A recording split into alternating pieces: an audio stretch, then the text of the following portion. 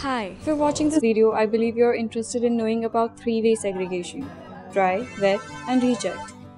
Dry are man-made items which can be recycled into new products.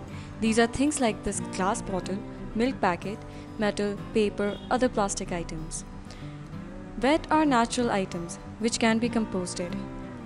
A few examples are this banana peel, eggshell that usually comes out of the kitchen. Whereas reject waste can neither be composted or recycled and are dangerous to deal with. These items either touches our body like sanitary napkins or are sharp objects. Now some items can be bit confusing.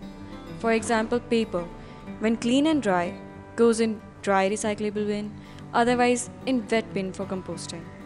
And if it's tissue you sneezed into, toss that into the reject waste bin. Dry doesn't literally mean dry. This biscuit packet for example, we will put the spoiled biscuits in wet bin and this packet in dry recyclable bin. In the case of this box, we clean and let it dry before putting in dry recyclable bin. Similarly with milk packets, wash and let it dry before you throw it. So when we are confused, probably there's another step involved. Remember, each goes for different purposes. Wet for composting, dry for recycling, and reject for incineration. So let's not waste our waste.